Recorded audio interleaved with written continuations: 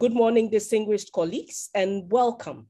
And thank you again for sharing this occasion with us. When I became active in civil society in the late 90s, um, one could describe that period as the golden years of active citizenship and the opening of civic space in West Africa. That was the period when, sparked off by the Benin National Conference, the wave of democracy swept through West Africa. And civil society were key actors in enabling that movement. They had the support and they got the resources they needed to push the agenda of democracy and its consolidation. But somewhere along the line, that support dwindled. And today, in 2022, a couple of decades after um, this period that I'm referring to, this golden period of democracy, democracy in West Africa is retrogressing. And Paul, you made reference to that, you alluded to that. Now, there's a twist to the tale, though. The actors are different. The tools and the methods have changed, or should I say, evolved, now that we are in the fourth industrial revolution. The motivations for civic action have sometimes been questioned the global political support for social justice and accountability is no longer what it used to be. And resources, as I mentioned, have dwindled. The space for saving our democracy through civic action has shrunk. And often it's through deliberate government action or the action of other power holders. And it is within this context that we birth today the West Africa Civic Space Resource Hub. And let me just apologize because I think there was we, we, we there was a, a bit of a, a, a, mistake there in the publication. It's not civil society, it's civic space resource hub because we want to focus on the mission of the hub, which is really um, to protect, to save civic space. And its time is now it is needed now more than ever. Now, as an institution whose sole mission is to strengthen civil society, to be effective, to be efficient, to be sustainable and resilient as credible partners to development in the region, WACSI is very excited to be part of this initiative, working in close collaboration with Spaces for Change, with the commendable support of the Ford Foundation and with other partners who would come on board because this really, and you would hear more from my colleagues as they speak about what the hub is and what it's going to do, you would realize that it is really going to be a resource hub for civil society that will be facilitated by the partners that will be part of it. So WACSI Spaces for Change Ford Foundation are um, innovating it and taking it forward, but we will be having other partners who will be joining us because it's about making resources available to the key actors who need to work to protect our civic space. So that's what it's going to be um, about. Now, we see this as a much needed resource hub. And it's for us, WACSI, it is a crucial part of our raison d'etre. It is integral to our mission. So we are in it for the long haul to provide the support civic actors need to reclaim civic space where it's lost, to fight to sustain what exists and protect it from further erosion, because we need that. We need that for a peaceful, just, inclusive, and prosperous West Africa, which, is, which has the kind of people-centered development that we have been talking about. So let me once again welcome everyone who's joined us for this very important launch. And I invite you all to join us in this quest to enable and protect our civic space. Thank you very much for being here and um, being in Ghana, let me say Akwaaba. Thank you. Thank you very much, um, Nana, for your kind and good words and welcoming us. Indeed, um, it is the time. This is the time. Um, Victoria, uh, Victoria Ibezim, the Executive Director, Spaces for Change. Please, if you can give us your welcoming word.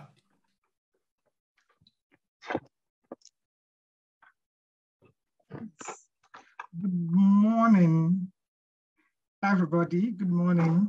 Greetings. Morning, morning. Greetings. Um, in the last few days, um, I've been at the United Nations listening to various accounts of how the civic space is shrinking in various parts of the world as a result of governments claiming that they are countering terrorism and protecting national security. And when someone from Sri Lanka or the UK or Egypt or Jordan or Nigeria speaks, the stories sound almost similar. The tactics governments are using are strikingly uniform.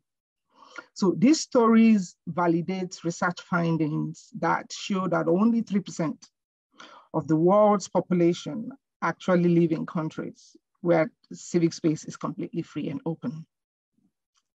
More than 106 countries have some sort of restriction on civil rights and um, liberties. So from legislative to administrative to structural restrictions, all that this government want is how to stifle dissent and limit the ability of citizens and civil society to speak freely, to organize, to assemble and associate without hindrance, and participate meaningfully in the democratic process in the countries. So in the bringing it down to the West African sub-region, where governance institutions and accountability mechanisms are weaker, tolerance to dissent is even much lower. So West African governments, they are restricting not just the traditional spaces that civil society engages this democratic process. They are also now narrowing the online spaces like the Facebook, the Twitter, the WhatsApp, the YouTube, you know, all of those online platforms that citizens and civic actors are using to draw attention to such shortcomings in the society and to push for systemic changes. So evidence from the closing spaces database, it shows that West African governments are unrelenting in their efforts to narrow and tighten the spaces where we operate. So we, like Nana said, we can no longer sit back and fold our arms and watch the gradual descent into civic space closure and repression. Complaining about it is no longer enough. That is why we're excited about this opportunity to collaborate with the West Africa Civil Society Institute to introduce the Civic Space Resource Hub for West Africa. We're immensely grateful to the Ford Foundation for supporting this initiative. This is so timely. It couldn't have come at a better time. Um, over the next five years, the Hub will deliver programs that will empower and enable civil society organizations in the West Africa sub-region, beginning with Nigeria, Ghana, and Senegal, to have the levers to push back against the surging restrictions.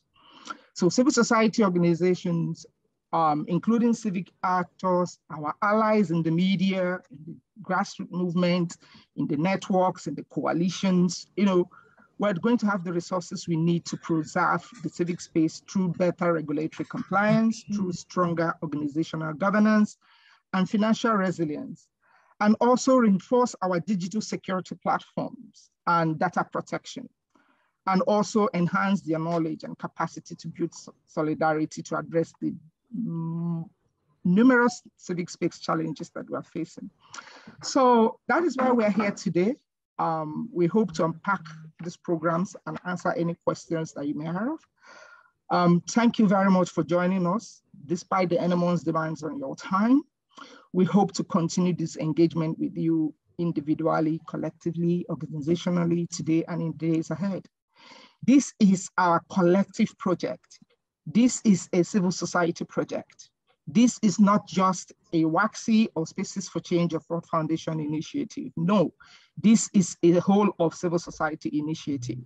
Together, we can win and triumph. Good morning again. Good morning. Thank you very much for those uh, good words. Um, and indeed, uh, the situation across uh, the globe is the same. At to one meeting um, without offending anyone. One person said that uh, our presidents seem to be like uh, behaving like the Okada men. You know, the, the where you meet the Okada man, those guys who ride bicycles, whether in Ghana, whether in Nigeria, whether in South Africa, they behave the same way. So um, it looks like when they meet in some of those conferences, this is what they discuss. Let's terrorize our citizens like this.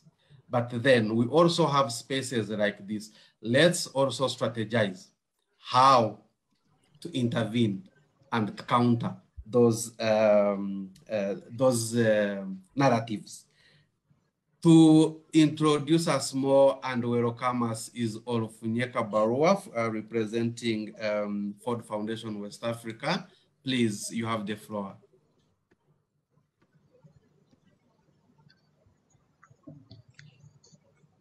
Thank you, Paul. Welcome. Good morning, good afternoon, everyone. Uh, it's good to be here. I have just given these uh, small remarks uh, on behalf of the Regional Director for the Ford Foundation uh, Office of West Africa, Dr. Chichi Aniagolu Okoye. Um, I want to say congratulations to WACSI, congratulations to Spaces for Change and all the organizations that have made this possible.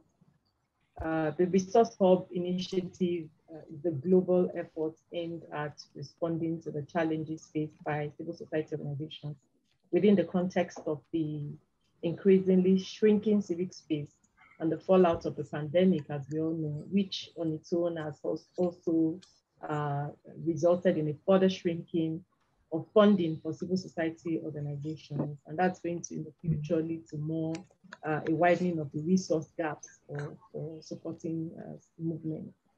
So the hub builds on the work that the foundation has been supporting with regard to reimagining the role of civil society and strengthening the engagement of civil society with uh, regional organizations like ECOWAS.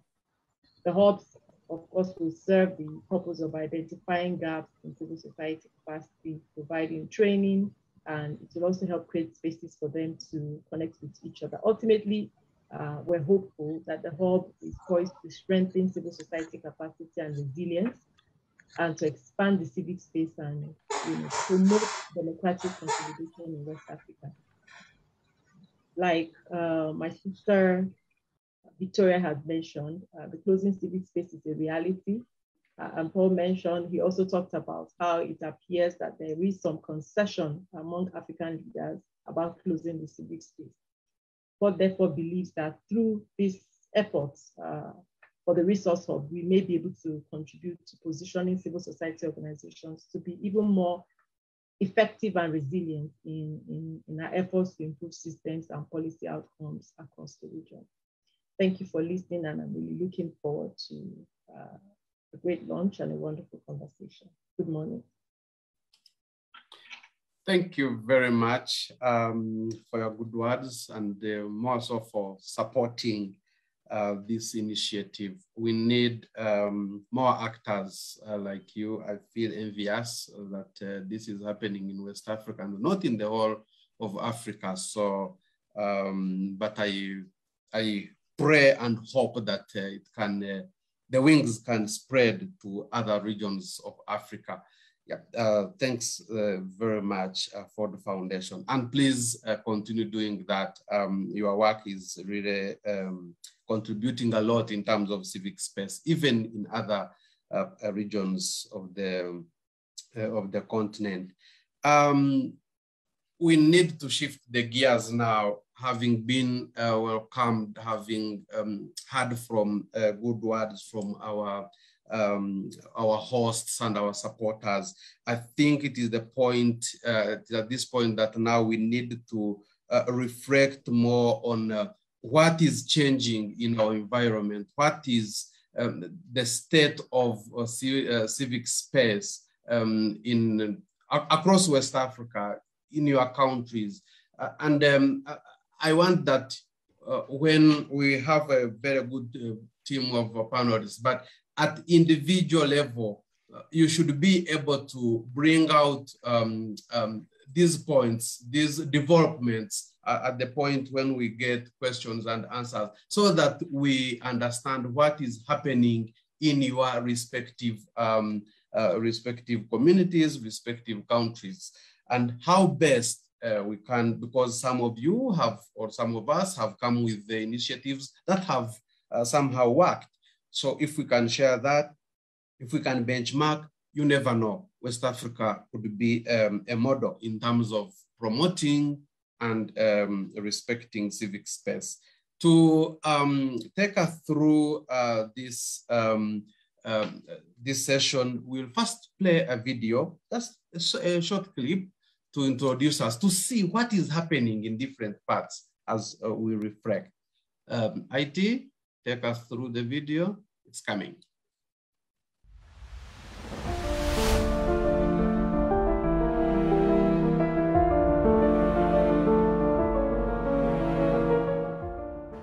At least two people were killed and 15 others wounded on Tuesday in Guinea's capital, Conakry, as political protests intensify.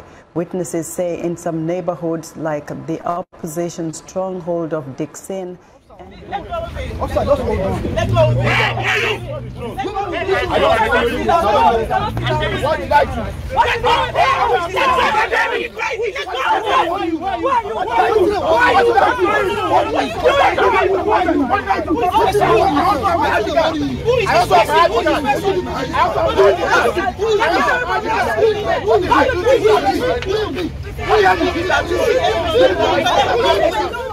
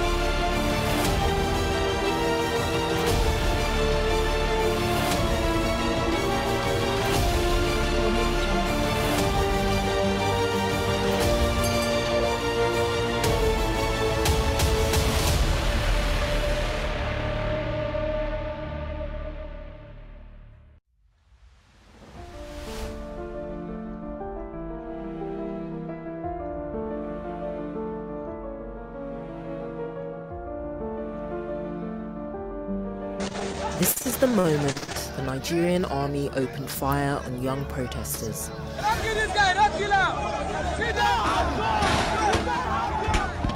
The shooting was captured on mobile phones and even live streamed on Instagram. So why a year on do Nigerian authorities deny it ever happened? Massacre without blood.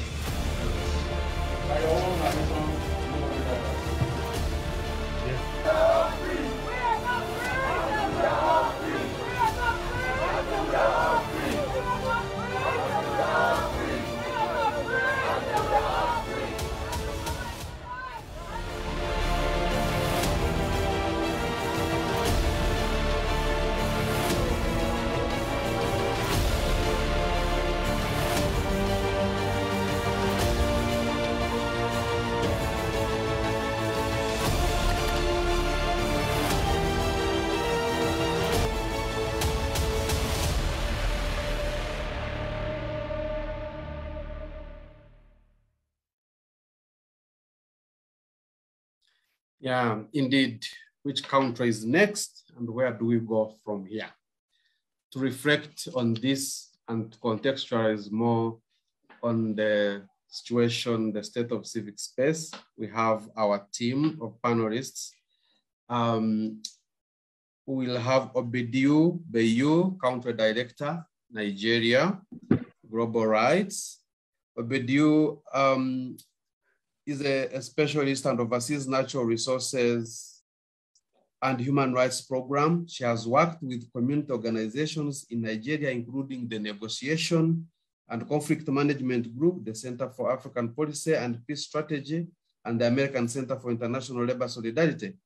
She was a fellow of Women's Law and Public Policy in the Leadership and Advocacy for Women in Africa program in the Georgetown University Law Center in Washington, DC. In addition, she is an accredited mediator, dispute resolution trainer, and HIV AIDS uh, youth counselor.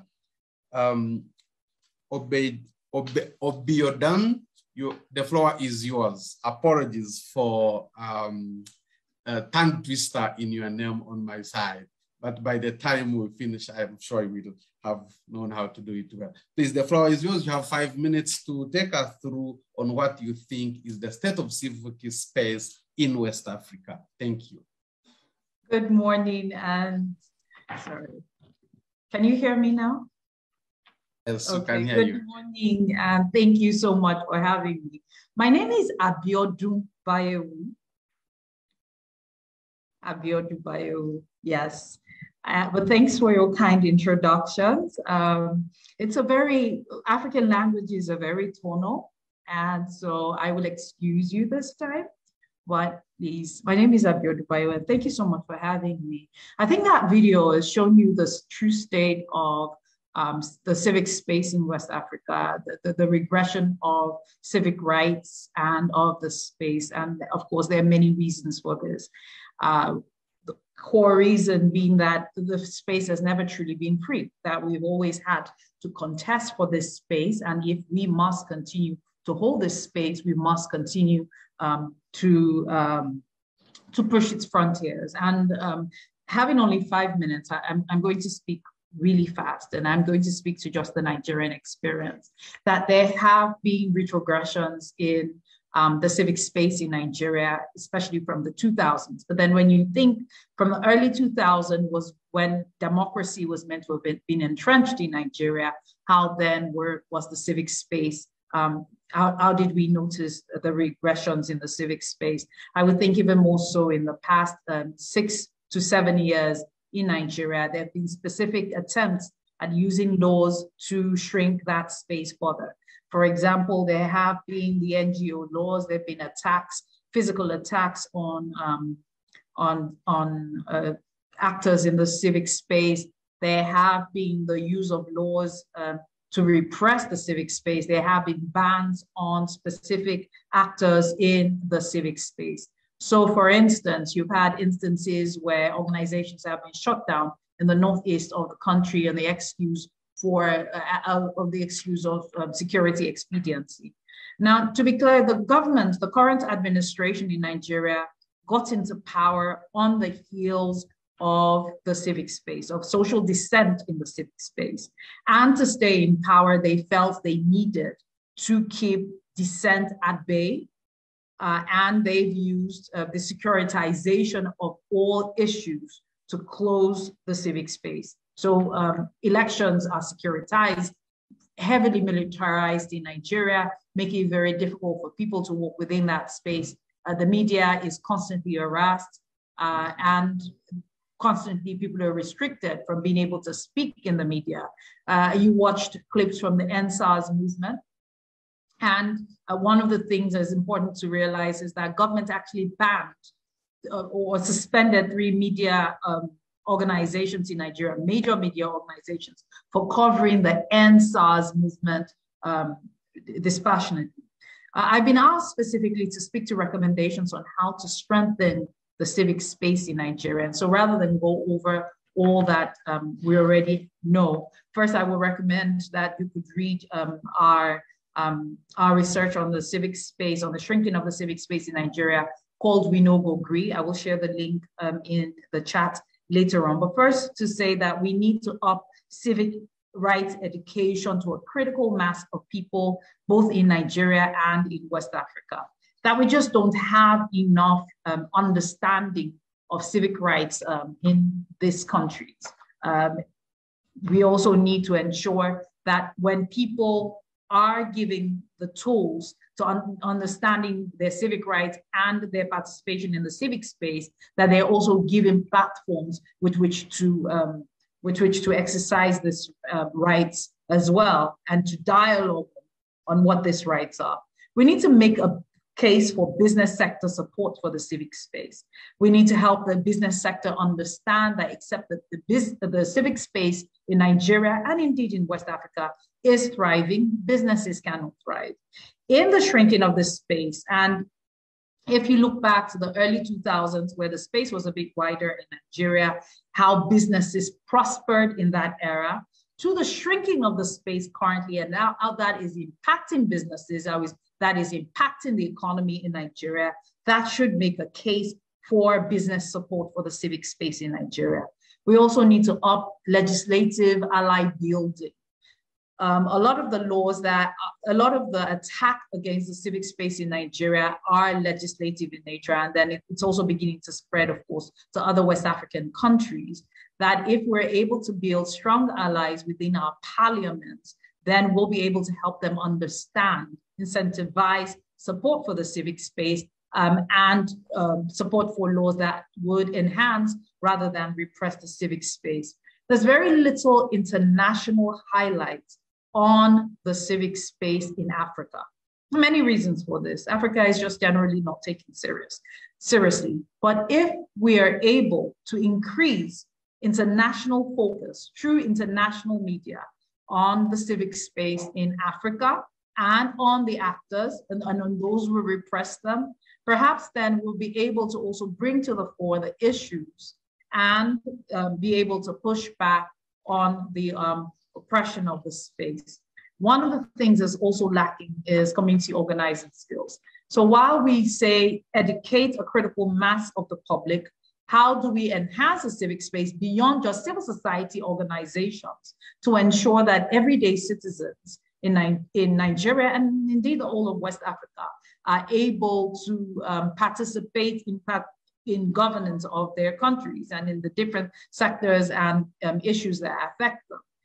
Community organizing skill is essential for us to build movements. We cannot protect the civic space if we cannot build movements in West Africa, and community organizing skills are critical to that, particularly of very young people uh, West Africa is more than 50% of West Africa is um, young people in, in the youth population.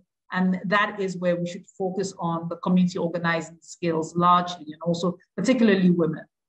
We need international solidarity, not just international solidarity, solidarity within the continent itself. Why aren't civil society organizations, for example, in Nigeria, speaking about the uh, repression in Tanzania and Uganda, repression in um, Senegal and offering solidarity, and vice versa, that those countries are also offering solidarity across borders. We need this solidarity, and, and this is something that I'm hoping that the uh, civil uh, society, the civic space hub um, would be able to champion as well.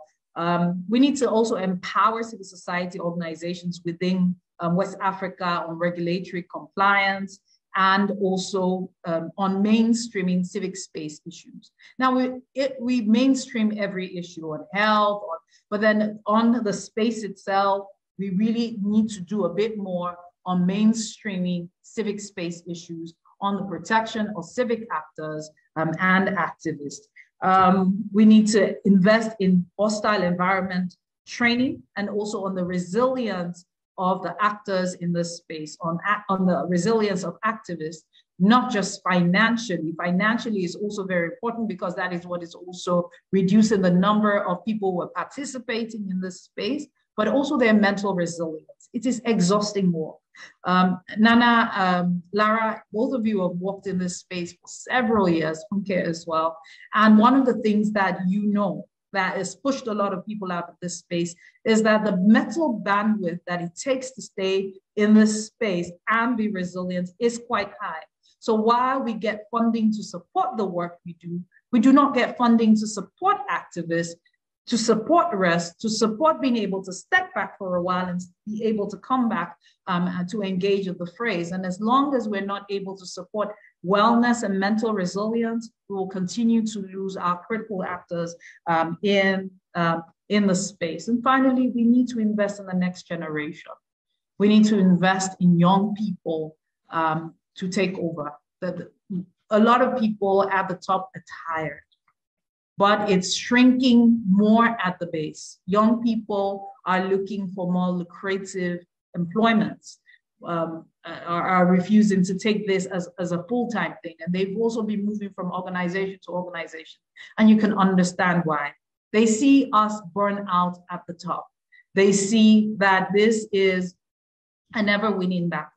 But we need to incentivize, train, and build up a new, a next generation um, of activists. And we need to start very, very early. We need to invest in the media. We need to invest through arts and culture in this space as well. Um, I found, and I, and I know they've been researching this area as well, that the arts have. I'm, I'm sorry, Re Rejoice, your, your microphone is on. That the arts have been very instrumental and actually more instrumental than laws in building this space, in, in strengthening his resilience, in inspiring. And so I'll just this point because I know I've exceeded five minutes. Thank you for the opportunity. Thank you very much, Obi, Abiodun. Perfect. Um, yeah, I told you by the time we finish. I will be able to say. Uh, colleagues, uh, this meeting provides interpretation services. We have both um, English and French. So if you check, uh, depending on which uh, tool you are using, if it is a laptop, I think it should be on your left, on your right side of the um, uh, uh, computer. There is interpretation. Click on it, there will be two um, languages, English and French, and then you choose uh, whichever is appropriate to you.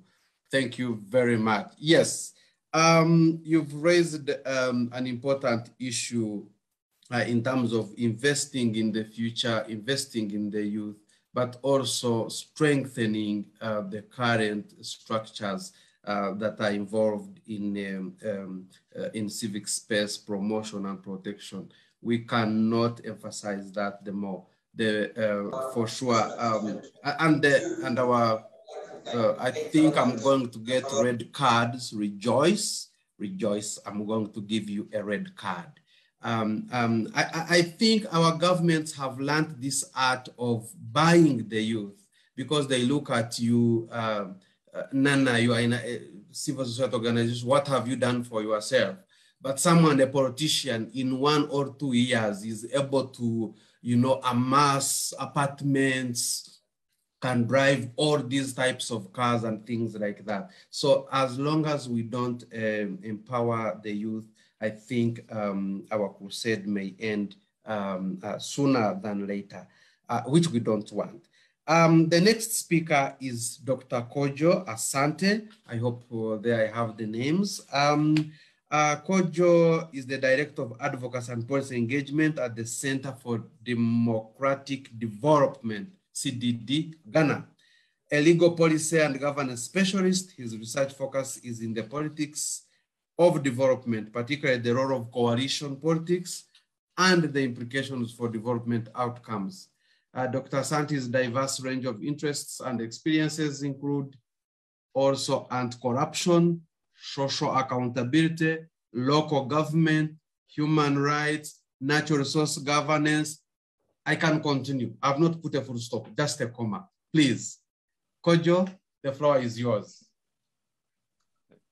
Thank you very much, Paul. Uh, I hope everybody can hear me. Uh, really pleased to be here um, to join all of you uh, and uh, greetings from Accra. Um, this conversation, I think, is very, very important. And uh, um, I'm really glad we are, we are having it because I believe that, you know, when, when we reduce everything at the end, it's about people's lives, um, our futures, uh, the future of our children, our brothers, our sisters. That's what it means. It means uh, living in a, in a society uh, where you can, you know, express yourself, participate in decision making that affects your life. So, um, you know, when we strip all of it down, this is really what it means. It's we are we are fighting for you know our own present and our own future, and that's why I think uh, we have we have no excuse. Uh, we need you know to to protect the space. We need to push back and ensure that that space provides us all the uh, the the benefits and the freedoms that we need uh, to to live uh, as as human beings. Um, I'm supposed to focus on Ghana, and I will start by talking about uh, maybe you know some of the developments uh, around the attacks on freedoms that uh, uh needs to be highlighted. I think the the most obvious one is uh, around the, the freedom of the media, and if you've seen the the, the recent uh, World Press Freedom Index, where you know Ghana dropped almost 30, 30 places down to number 60 for the first time uh, indicating that there's been a real deterioration in respect of uh, freedom of the media. Uh, we have most people think of Ghana as the model democracy, uh, and and not just in in Africa, but you know can competitively say that some of the freedoms we enjoy, particularly for the media, uh, it's it's it's recognized worldwide. And I mean this development, uh, I think, is a wake up call but but the evidence is there. There is increased uh, assault of, of journalists.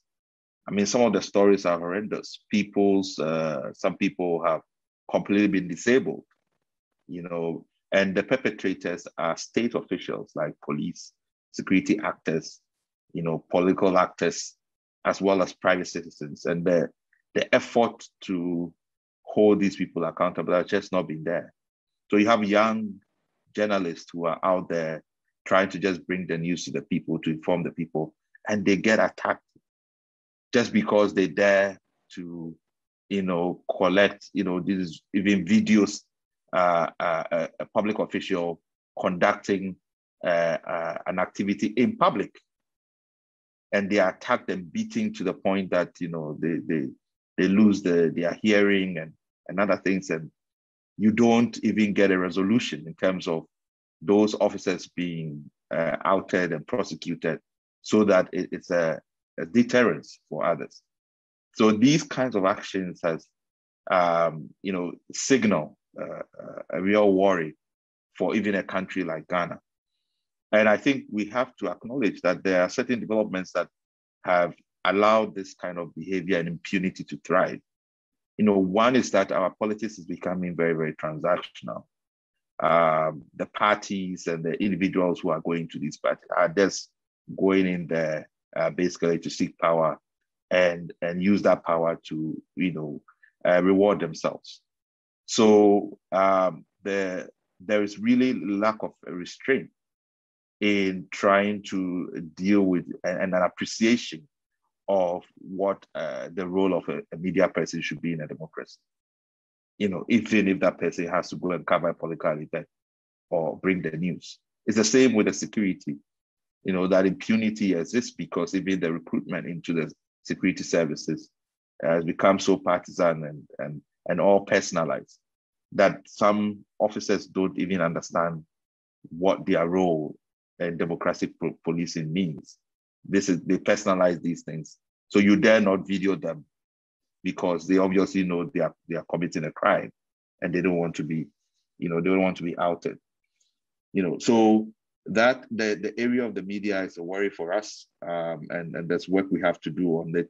Also online freedoms and uh, the case of uh, Barker-Vormawor, uh, the Fix the Country uh, uh, activist who you know posted online uh, if uh, you know uh, statements which uh, uh, related to whether he he was interested in coups and so on, and this has become uh, he's been charged with treason, um, and and and there's been enough a number of media people who have also been arrested because they've either done a YouTube video or something that insulting the president.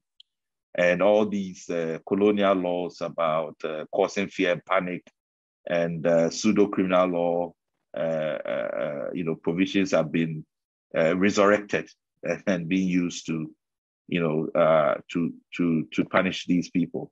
So um, that space for engagement, which is the online, is also an area. certainly, there is a genuine concern about uh, being misused for misinformation, uh, for for even terrorism, other kinds of security, cybersecurity issues. Uh, but the the approach, you know, uh, and the instinct of the state is basically uh, to stif- uh, stifle dissent of any kind under the pretext of you know security. So finding the right balance that should exist within a democracy, I think, is, is, is key. The other area uh, uh, is the right to assembly and dealing with protest in particular. I mean, if you if you look at what the um, the, the armed conflict location and uh, events map uh, project tells us about protests in Africa, uh, this is not going to stop anytime soon because we have a very uh, young demographic group. Um, they, they, they, they have different ways of expressing dissent, you know, different kinds of civil formations that are emerging to deal with the repression. And uh, our police uh, institutions, our security institutions have not built the capacity and the orientation in terms of dealing with these kinds of, of uh, protests. They are just used to basically clamping down on any free expression of any form and just afraid that you know people going on a peaceful demonstration is a threat to national security. Uh, and we've seen what happens with the EndSARS movement and the kind of clampdown that we saw. And we see it in many places. So the the the the the, the management and, and the capacity to deal with these kinds of civic expressions, uh, I think is, is key. And uh, you know how those spaces are managed are, are critical for how civil society is able to engage. Now, how do we, you know, what, what do we need to do? Uh, sorry, sorry, yes. Um, the time is My fast time is spent, okay. but we could uh, add in one minute, please. Thank you. Sure, all right. So, I mean, for me, in terms of uh, what we need, in, in Ghana, there's already a number of laws that uh, we are in the offering. So there's an NGO, NGO bill or not-profit bill that is uh, currently in the offing. We have to engage with that. There's a broadcasting bill that we have to engage with as well. Um, but I think that for me, one of the things that I, uh, you know, st- stick out to me is that there's a there's a generation of civil society actors, uh, and I'll say it's like the second generation after the third wave of democratization, uh, that probably are not as steeped in the fundamentals and the principles of human rights and democracy and governance and sometimes miss the point between all the connecting dots. You know so when something is happening on you know freedom of expression or right to assembly or any other kinds of issues of accountability transparency they are not understanding that these all enables uh, to protect the space and so you see people uh, uh, acting in silos because they think, oh, that's the problem of somebody else to deal with. So I, I mean, for me, the recommendation is really to go back to a DNG Human Rights 101 for uh, a lot of these society leaders who are in the second generation, who didn't naturally come. The first generation came from academia. A lot of them either political scientists and other who kind of have a real appreciation uh, of these uh, principles and and, uh, um, and concepts. And I think that we have to revisit that because you can see it in the way people respond and react to these issues when they come up. Thank you. Thank you very much, Kojo, for your analysis of the situation in Ghana.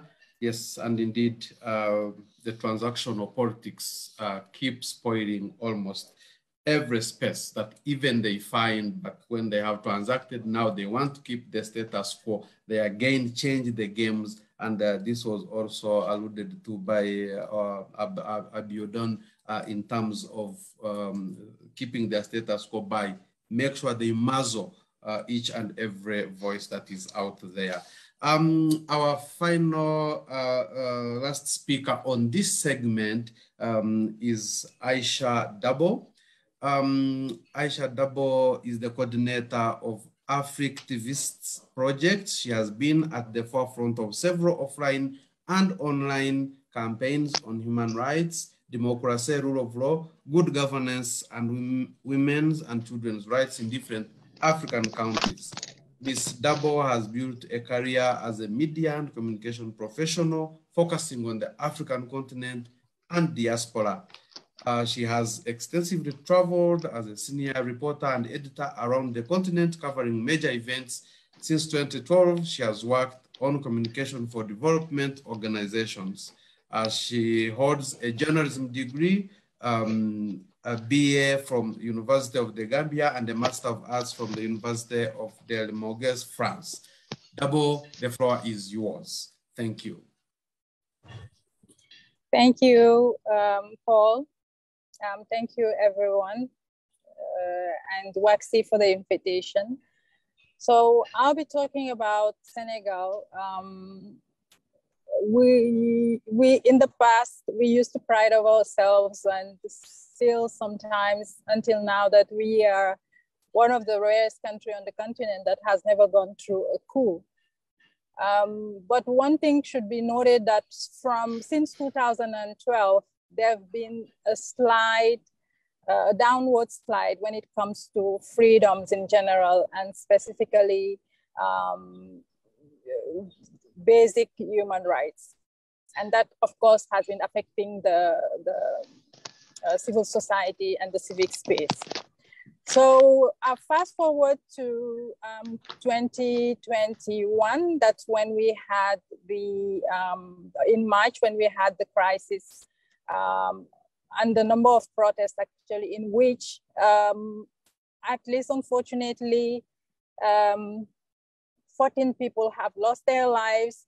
And this was somehow a surprise for some people but it was not for us who have been here and have been monitoring the situation. And uh, the march 2000 and, um, uh, 2021 event is just a build-up of the different uh, problems we've been having uh, when it comes to peaceful protests. Um, you need a, uh, actually the, the prefect of the prefect of Dakar or any other place will require that you get an approval. While that's not what the constitution is saying, you just need to notify them.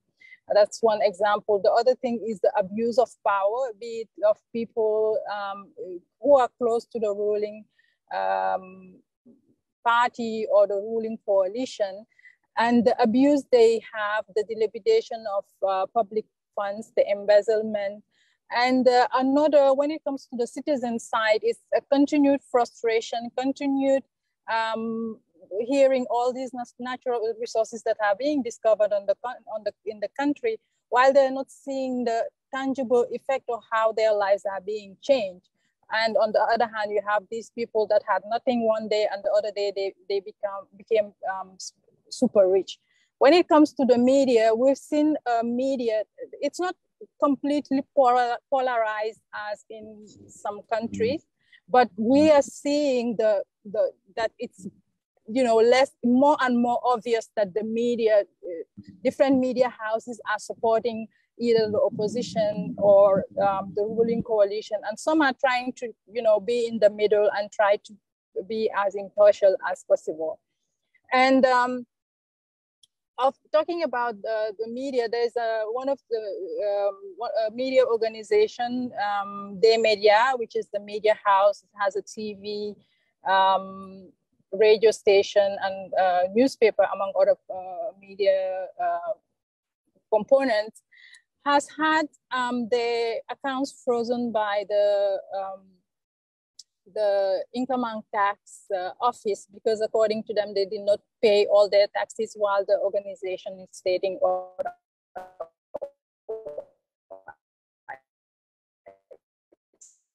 so this has, some people are interpreting it as being linked to the fact that the founder of the media group is um, an opponent of the president, a dissident. And uh, as we are preparing for the legislative elections, um, some someone has their mic on. As we're preparing for the legislative election, there's some tension going on right now because um, since the last presidential election, um, you know, the law requires that a candidate gets a number of uh, people that will sponsor them. And this has been an issue um, in the legislative elections.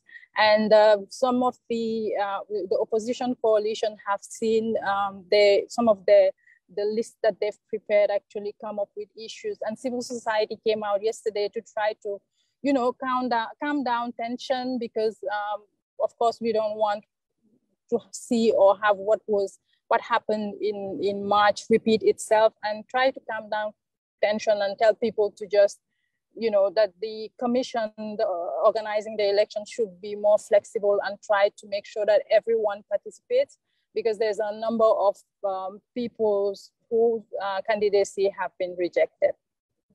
So now I will focus on um, well, uh, what is the recommendation I would have specifically when it comes to Senegal and one last point before that is the fact that the president, since um, the last two years, has been constantly, you know, saying that he wants to regulate social media, and uh, that they're preparing a bill actually in that regard. Why Senegal already has a number of laws that address everything that has to do with the spice, uh, cyber space or any right that can be, um, you know, violated in the cyberspace. So our stance now is we, we want to see what that um, bill looks like uh, before it goes to parliament because the rubber stamp parliament because we don't want another law that will create restrictions but we want uh, something that will be more collaborative and uh, respect basic human rights as much as possible. So the recommendations I have, and I think maybe would be um, similar to what my colleagues have said. It's unfortunate that Senegal is going through a downward trend and it's mostly linked to, to, to, to, politics and to people wanting to stay in power and stay in control, not wanting to hear any dissident, dis, dissenting voice. So I will first focus on civic education. Um, civic education that's impartial, not in support of a, uh, of a current or past president, but just be as impartial as possible. That's very important. And it's civic education at all level. There are existing structures from grassroots to national level that could be used for that. And um, I will talk about also the fact that um, government should, you know, stop being uh, closing themselves in this bubble that you know they're the one who decide they they think they know what's best for everyone. We are no longer in the, those kind of governance. We are more in a collaborative and participatory democracy and governance. And one important thing is the fact that if they have bills um, that they want to put out that will affect um, basic fundamental rights um, they should actually be comfortable with, enough with what they're suggesting and open it to civil society contribution and criticism so that it will be a more collaborative um, law. Because when um, the trend has been, whenever they have difficulties um, in terms of controlling um, protests or controlling um, the civic space, they will pass a law to try to legalize it. And uh, uh, having this collaboration actually is uh, something that can help us move forward. And um, someone Asha, talked one about- min one minute, please. Okay. Okay. Someone talked about um, solidarity, uh, and that's very important. During the EndSARS uh, protest, there was a, a, continental solidarity, and during the Free Senegal protest that happened last year, there was also this big solidarity from other African countries. This just shows that we all yearn and want the same thing and we no longer want to have these the club of club of head of states who only think about how to stay longer in power or how can we repress further our our citizens while you know they're in service of us they're working for us so that should be um, you know the, the, they should be more compassionate or empathic towards citizens than trying to strengthen and restrict um, the little freedoms that we've been able to gather uh, so far. Thank you. Thank you very much. Thank you very much. The uh, point of solidarity keeps coming. And um, I know when it comes to civic space and especially the actors that are um, either being harassed or mistreated by their governments, it's always good to have these uh, solidarity points, uh, missions, or hubs where, for instance, one can easily be either evacuated or um, help to um, to come to terms uh, with the, what is happening. So thank you very much, um, our panel, um, for elaborating more, for contextualizing and grounding us in Nigeria, in Ghana, and Senegal state of affairs in terms of civic space. Um, we are not doing um, well in terms of time, and um, I'm worried that uh, our next uh, session, which is comments, questions, and uh, answers, is going to be short. Please, um, you can put your question also in the chat, and uh, if the question is asked, uh, you don't need to repeat it, uh, so um, that we can have enough time to um, listen to some of the comments that are in the audience there. Please, let's have uh, five minutes of questions uh, and answers. And if you are you want, you can specifically put your question to uh, the panelists, including our first uh, um, uh, three hosts um, who gave us the opening and welcoming remark. So please, the floor is open for comments, questions, and answers.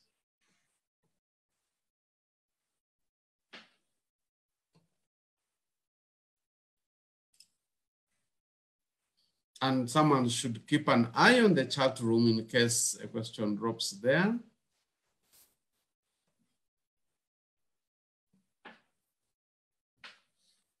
And if there will be silence for more 10 seconds, we would gladly move to the next uh, segment. Yes, Daniel, please, uh, you have the you have the floor, Daniel Alimo.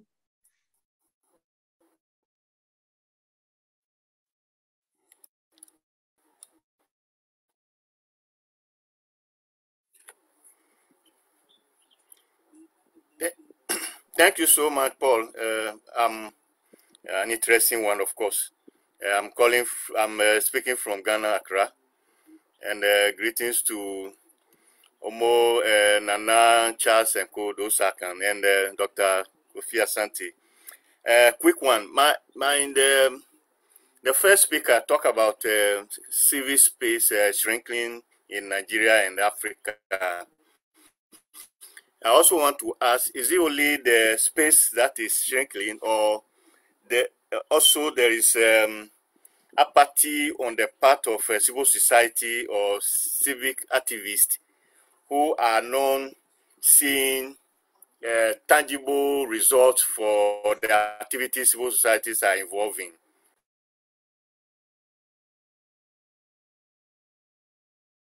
Okay, thank you very much. So that we'll go to Abiodun. Um, uh, Lindro Ben Bannon, Lindro Bannon, please. Thank, thank you so much, uh, Mr. Pauls, and also for all the presenters and let me maybe play the devil advocate here. And I mean, talking about the issue about uh, protests, not allowing people to descend on the streets and express their their view on specific issue. I wanted to find out, have, have we not have reached to the point that protesting now and is becoming uh, a tool used also for other people, for example, hosting, I mean, and democratic elected governments, like what happened in Mali, what happened in Egypt some years back. Should we not start thinking about using other means of actions instead of leverage, I mean, using the protest and other also use it as a vehicle for their personal achievement of taking power and even perpetuating and more abuses uh, compared to those who have been to power? And that's that is my my my question. Thank you. Thank you, Leandro. Um, I think the question goes to all our panelists or any person in the audience. But if I could uh, throw back the question to you, which other alternative would you suggest in case you have one in mind, you know, so, so that we can ping pong around it, we can uh, uh, share, I mean, brainstorm around it. If you have any, would be happy to hear uh, from you. But I agree with you. There could be other alternatives uh, that we can use. Um, as if I saw another hand. Leandro, are you still up? No, sorry, it was a okay. hand. Okay. But please, if you have any alternative, uh, please, I'm not putting you on the spot, but just to, um, to yes, to, I felt, okay. I felt, I mean, I don't have any now in my mind, but maybe this could be some of the question that this project or this initiative could address, yes. looking at exactly. alternative and all that. Thank you. Exactly, exactly. Thank you very much. Um, any other um, comment, question? Otherwise, uh, Abiodun, uh, could uh, that's the question that directly came to you. Um, okay, there is uh, a hand. Let's take the this hand and then we come to the um, answers. Beardo, Elise? Yes, sir. Thank you. Can you hear me? Okay, yes, my question. Okay, thank you. My question has to do with the impartiality of civil society in our country here, mostly in francophone country, where whereby when there is a situation in our country, and a civil so, a civil society come come out and speak out about uh, what is going on, like any civic situation, any civic challenges, the the power would deem that organization as being partial, as being like in the opposition side, though that issue is real and we are we will be experiencing it, but it's made uh, uh, the any any reclamation so so weak. So they, they they keep saying that they are they are from the opposition side. So how how can we really advocate? How can civil society advocate for any situation that is going on in their country and being impartial, not being deemed as be, uh, as coming from or uh, uh, uh, belonging from the opposition. That's my my question. Thank you.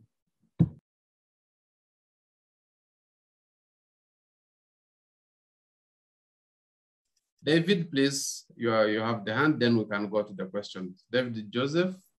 Yes, um, thank you very much. Um, my concern, my own question is going to the uh, previous speakers.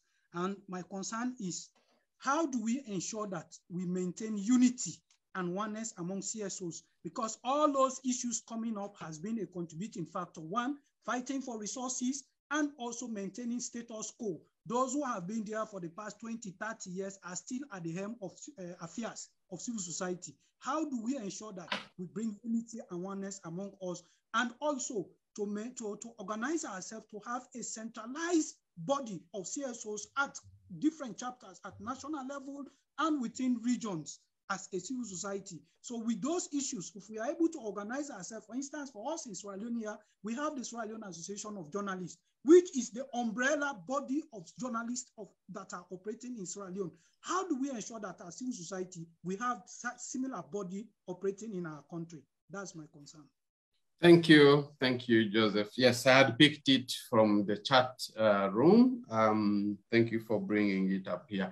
Okay, to our panelists, please, um, maybe Abiodun and then Kojo and Aisha as uh, we presented.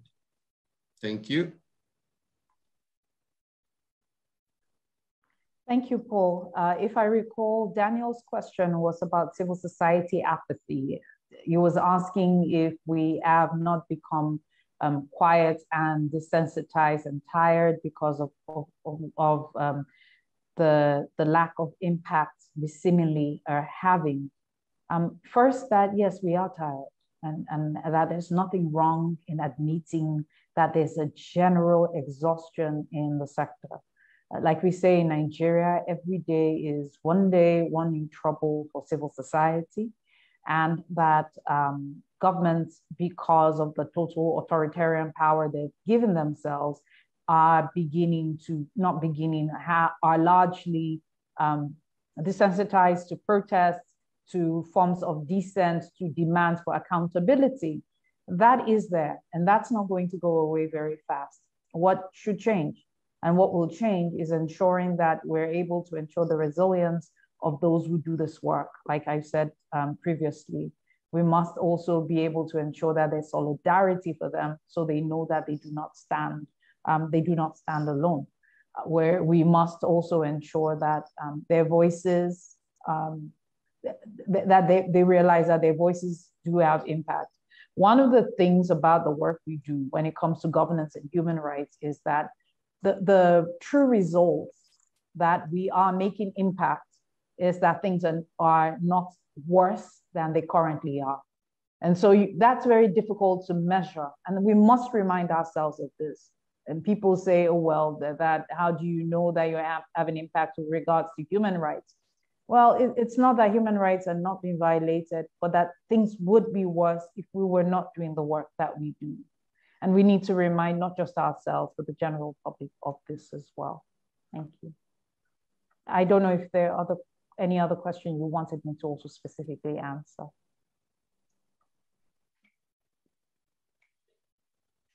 Generally, the questions were coming to the panelists, all to all of us. So it is only one that question that uh, directly came uh, to you, uh, but maybe uh, um, I think um, there was someone, I think from Ghana, who specifically was talking about the context in Ghana. Then it could go to Kojo. Yeah, thank you. I, let me uh, react to the issue about protest and uh, impartiality of, of civil society. So, I mean, uh, if you if you look at the Afrobarometer surveys, for instance, in terms of civic activism, when you ask people, you know, are they prepared to join a protest? It was always the numbers were always very low, but that has been increasing in in in, in the last couple of rounds. Um, and I think it's partly, as I said, it's a function of of, of generally having a very young continent.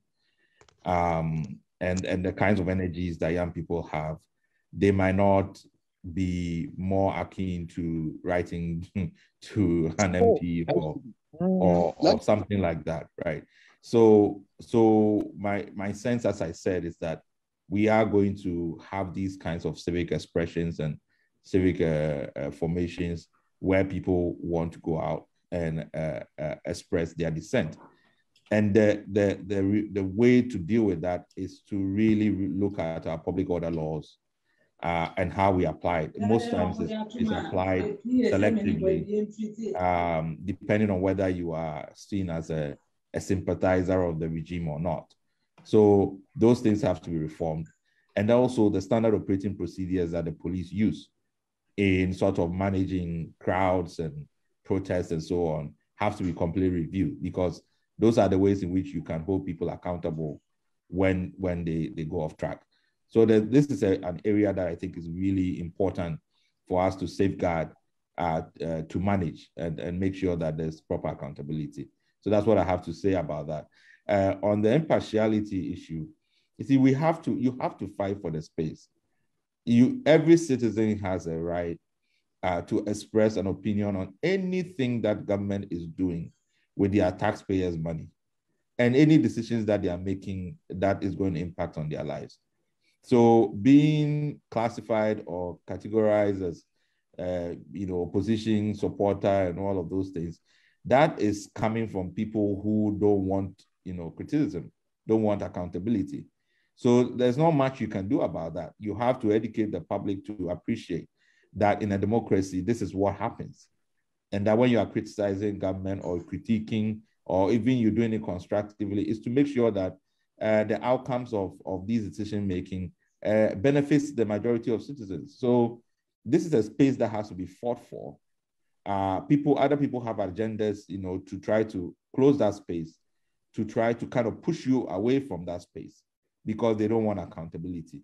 And that's why you the, the most important thing that would happen is that if you are you are there long enough, the citizens will understand that you know whichever government comes, you are still uh, uh, uh completely committed to the broader goals of governance, uh, good governance. Thank you very much. Um, yes, there is one question, how do we maintain unity and oneness among activists? But there is also um, a question directed to Aisha.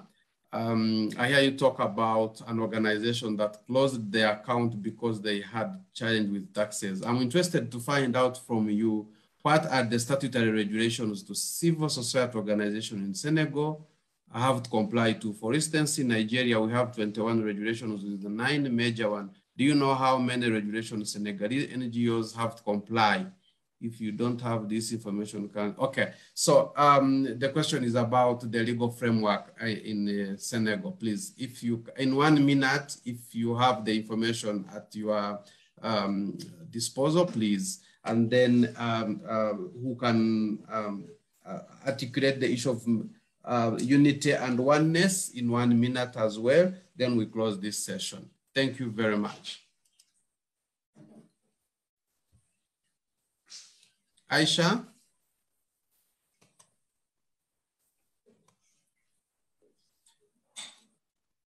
Not sure we still have Aisha, uh, but uh, in the event that she's disconnected, anybody who wants to give a stab on how do we maintain unity and oneness? Because the member is saying that the old uh, tax that have been at the helm of NGOs are still there. So um, does that tally with uh, what uh, Abiodun was talking about as well as Aisha in terms of recruiting or empowering the future?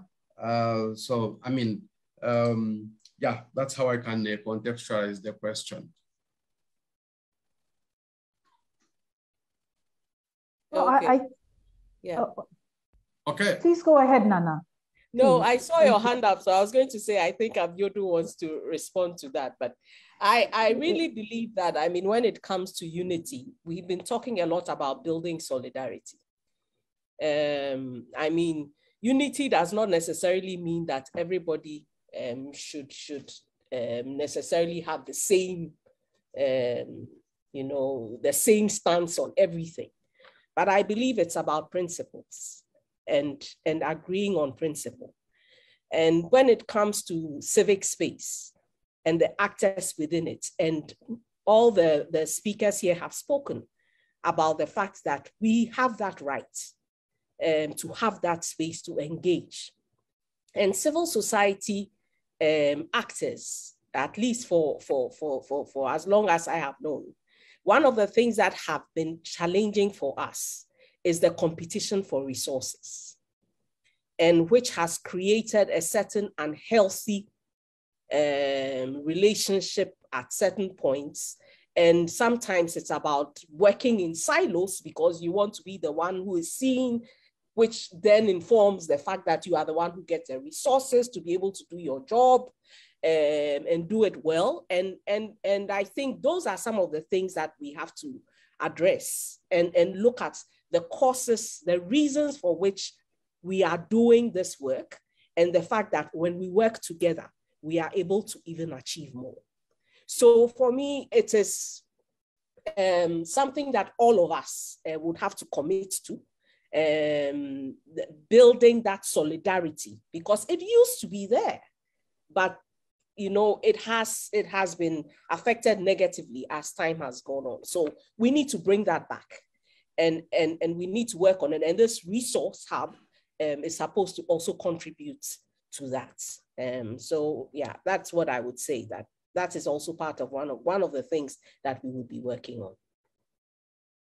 Yeah, thank you very much. Capitalism has not only entered in the business world, um, all in the government um, um, underpinnings and the workings.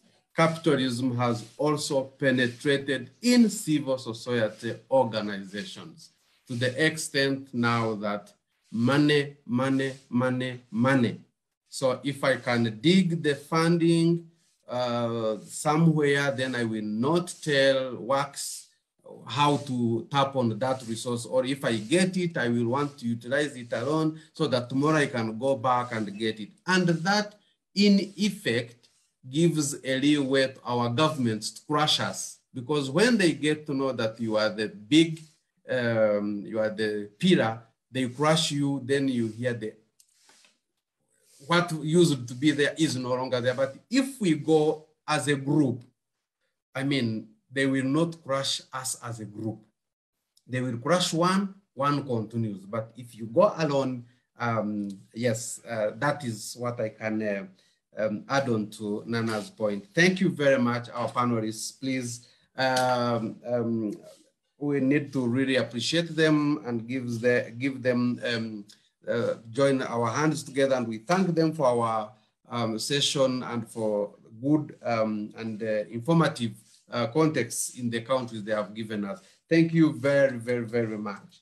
Um, to our next segment, I will need to rush to it because um, it introduces more to what actually the recommendations have been uh, put forward by our panelists here and what we need to focus on uh, in terms of building a space for, um, for a platform for our civic space. And that is launching our civic space hub.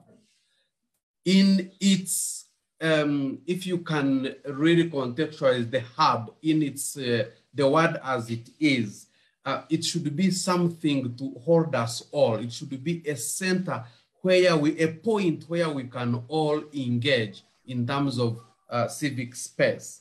Um, we'll have an introduction and um, a brief um, overview of what is this hub about and how um, can you, the person in Sierra Leone, the other one in Benin, in Senegal, how can you be helped by this hub? Is it only established in Ghana or even me outside West Africa can benefit from this. To look at this, we have uh, Dabesaki Mark Ikemanjima, uh, Senior Program Officer, West African Ford Foundation. Uh, please uh, take us through um, this and uh, um, um, we understand uh, what is all about. But before that, uh, we need to know that the Dabesaki is, um, is based in the foundation's uh, office for West Africa in Lagos. He currently works at the intersection between gender, natural resources, and manages grant making that integrates women and girls, disability, and youth lenses across these two domains. His work actively promotes the inclusion of the voices of diverse groups and perspectives, including youth and people with disabilities. He holds a PhD in International Development and MA in Development Studies from the University of East Anglia and a bachelor's degree in Educational Psychology from Rivers State College of Education. He was previously an external research associate at the University of East Anglia and is a visiting researcher at the University of Witwatersrand in South Africa. Dabesaki, the floor is yours. And please, you have five minutes to take us through the, um, the overview. Thank you very much. Okay, thank you, Paul. Thank you. Thanks for the generous introduction. Um, I think my task is simple here. I, I would do three things and I would do them very quickly.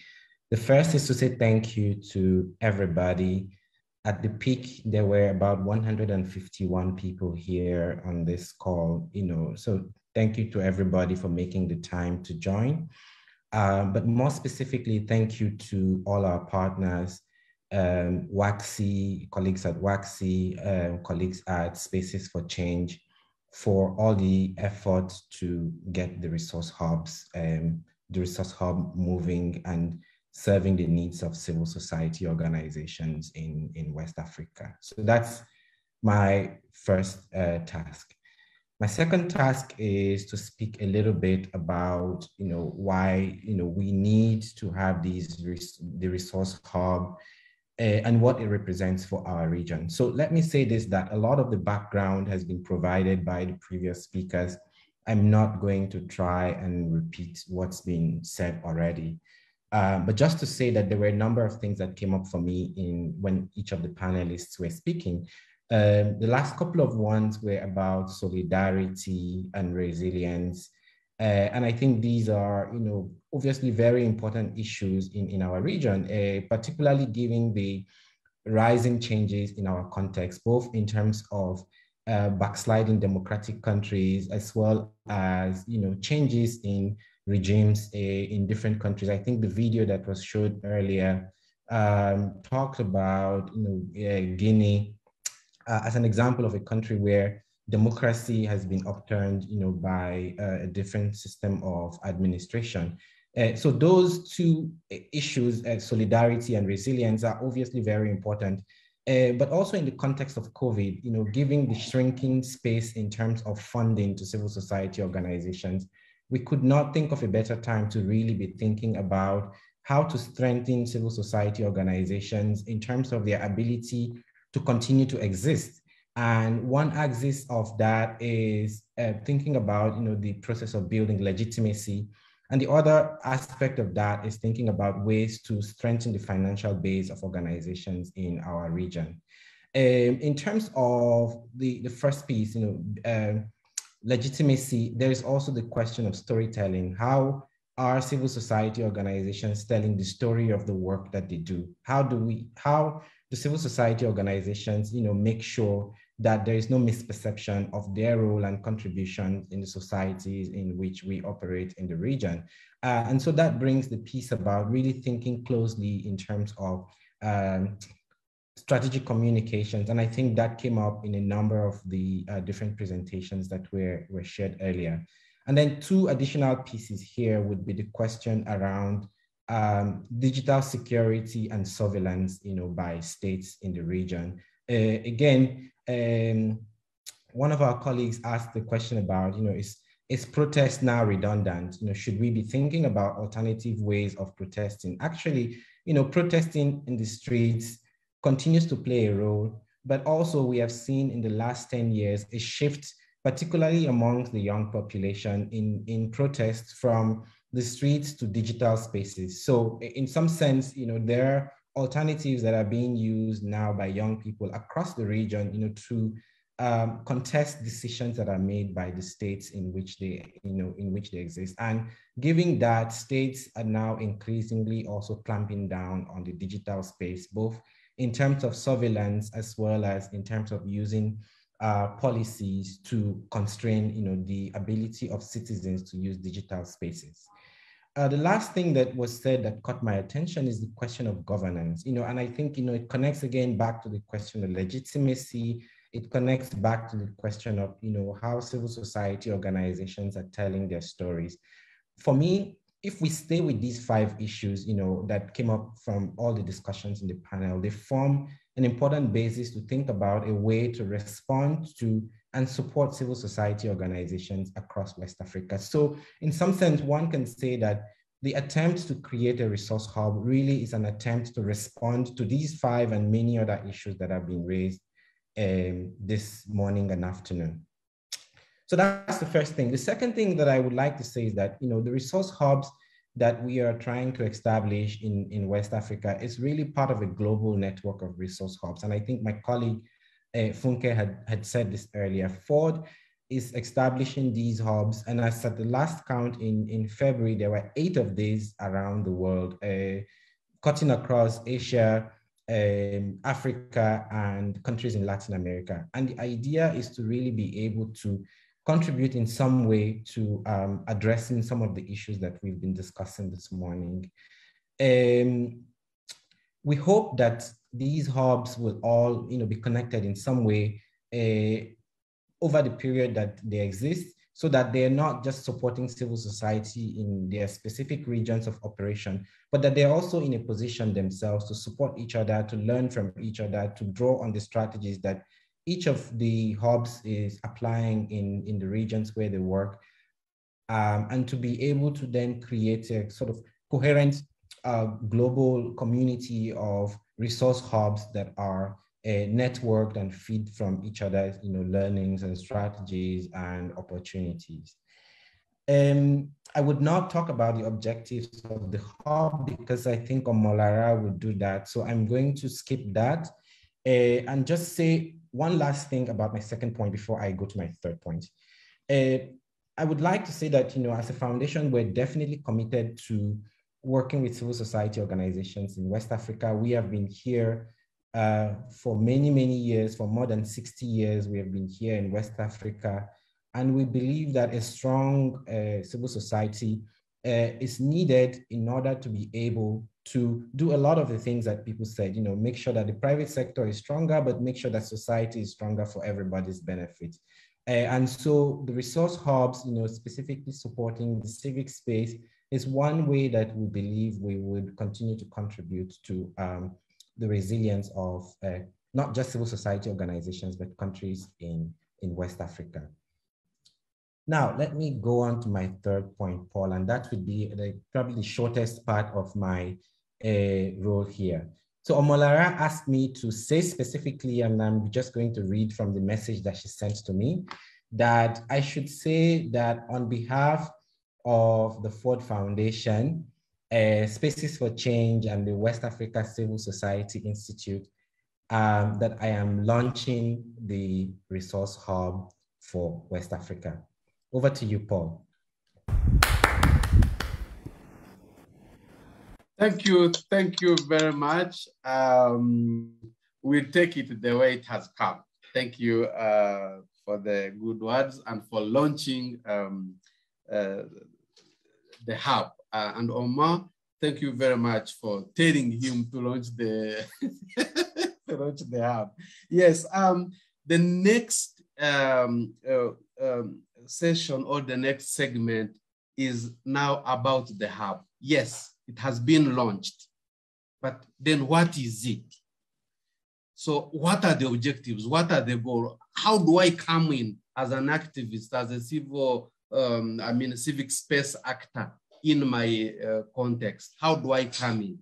WACSI and um, um, uh, Space for Changes uh, will tell us in less than 10 minutes, please, because we need to save some time so that people can ask you um, how, when can I come to that hub and where is that hub located?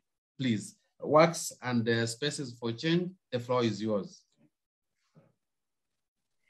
Uh, thank you so much, Paul and, and Dabesaki. Thank you so much. That was an interesting one. I thought we had a private conversation, you know. but it's good. Thank you so much, colleagues, the speakers, um, Paul, for moderating this so brilliantly, and to all participants, thank you so much. So I will just share my screen very briefly. Uh, okay. So I have a very more, you know, few slides to share, very scanty one, I must say, because we expect questions to come from, from colleagues. So uh, this is about the hub. I hope you can see my screen.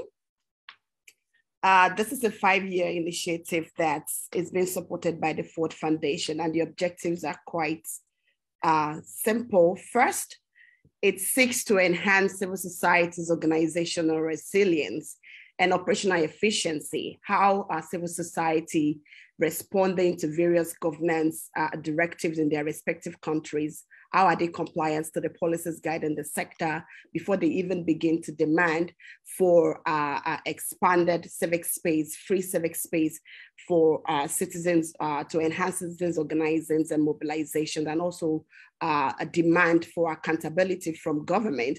It also seeks specifically to enhance civil society's ability to assess uh, the environment in which we work and also identify the gaps, the uh, emerging issues within the environment and identify ways to that about the climate change and how it hits hello please can we mute the the the, the speakers please? WACSI and uh, spaces for change team. And also knowing the best strategy to respond to these issues within their respective countries. And it also seeks to strengthen their organization now their organization's ability to mobilize resources like i said uh, uh, at the start this is going to be for five years we're expecting other partners to plug into this along the line. And of course, for these organizations to have the right skills and exposure to mobilize resources to support the work they are doing around civic space and strengthen their financial resilience and, man- and overall management.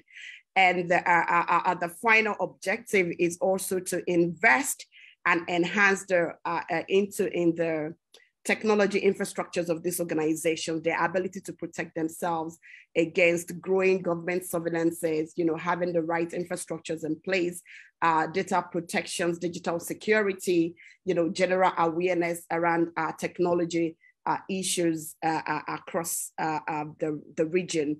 So these are the objectives that the, the project seeks to address.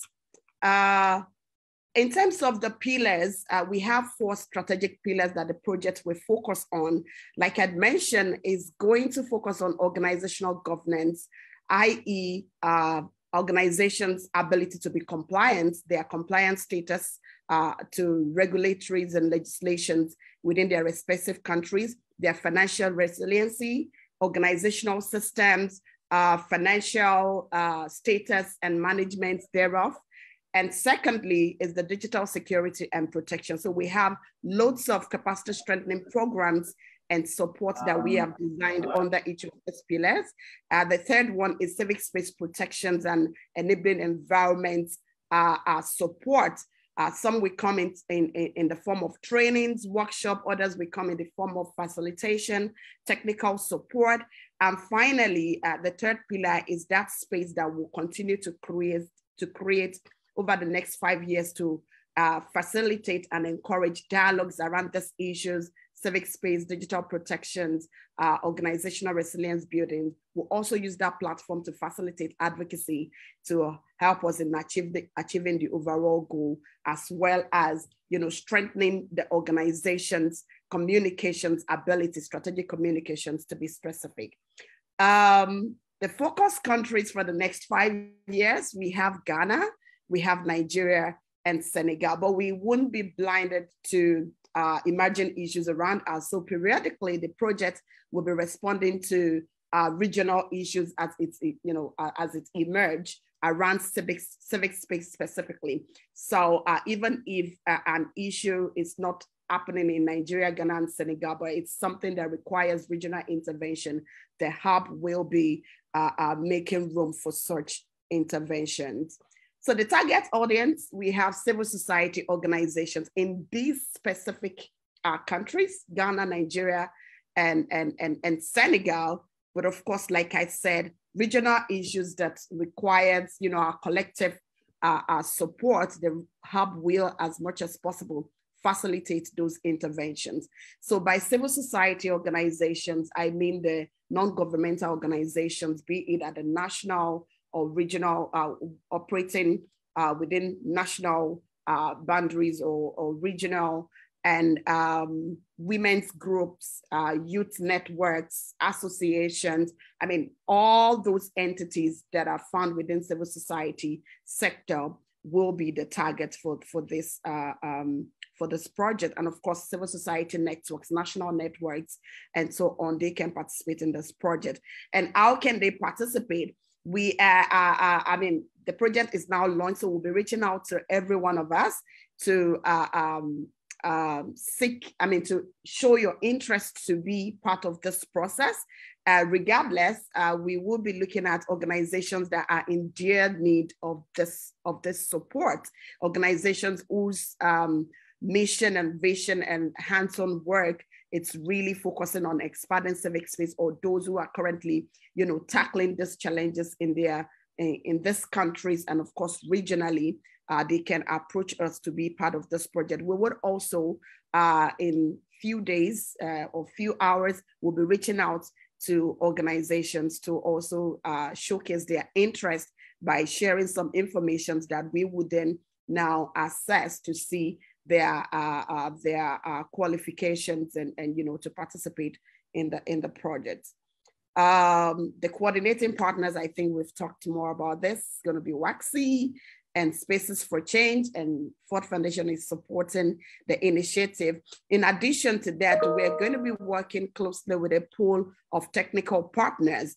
These are partners who have the right expertise around uh, digital issues, technology protection, uh, data protection, uh, digital security, organizational governance, financial resilience, uh, civic space uh, uh, actors who can easily, you know, pass across information and, and, and lessons learned and skills to other organizations that may need, you know, such support. So it, it's even though WACSI and Spaces for Change will be driving this initiative across the countries and the region, we will be working with technical partners who actually have the expertise to provide support over the next five years uh, uh, that this project will be on. So there are a lot more information to share and we would uh, appreciate if you can reach reach out to us at info at wacsi.org, info at wacsi.org, and info at spacesforchange.org for more information.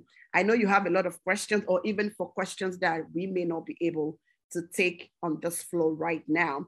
Uh, so Paul, I, I was trying to meet the time, so I had to present this very scanty um, uh, slides, but I, I want to believe that the information is, is well passed, but I'm hoping to, and with my colleagues, to respond to any immediate questions we may have.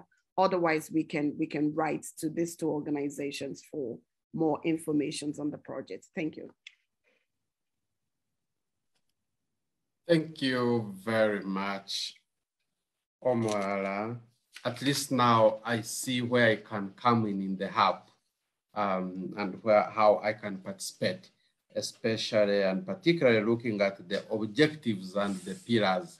It's so um, clear. Please, actors, fellow activists, and um, civil society um, organization representatives, let's engage in this hub. Let's um, interest ourselves um, in the civic space um, hub. Uh, comments and questions um, will again open for five minutes and it's first come, first serve when the space is still available, please. Um, after that, we'll go for the climax of our session um, to listen to um, one of our current philosopher and great, uh, great speaker of our times. Uh, yes, we need to celebrate some of these, um, some of these uh, people some before uh, they go away, and then we begin narrating. Uh, Hamidu Mosa, you have the floor. Please be brief, be succinct on your point. point, and um, if you um, uh, I think we only had one speaker, so your question, I guess, is directed merci, to Omar. Merci, Paul. Euh, merci vraiment de créer ce cadre pour que nous puissions échanger sur euh, une thématique aussi importante que l'espace civique. Parce que nous, chez nous, aujourd'hui au Niger, on ne parle plus du rétrécissement de l'espace civique, ça va vers la fermeture. Euh, maintenant, je m'en vais poser la question par rapport au centre.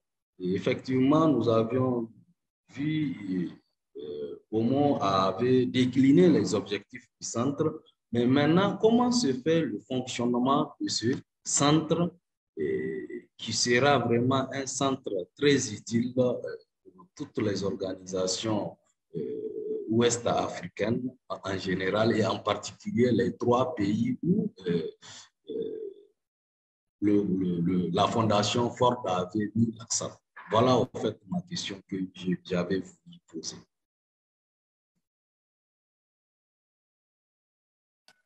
Thank you. Thank you. Any other question?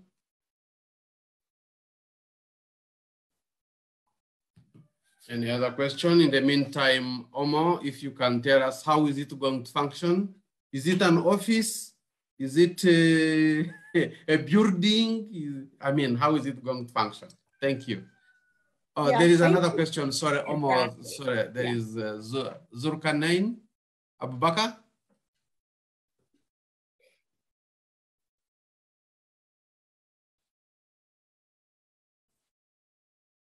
Abubakar.